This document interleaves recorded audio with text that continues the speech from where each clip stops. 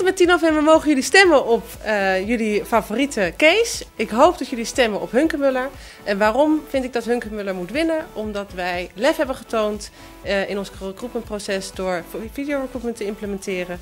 En ik denk dat vele bedrijven dit ook half hebben gedaan. En wij als eerste bedrijf, of een van de eerste, dit volledig hebben geïntegreerd. Dus het risico verdient een award.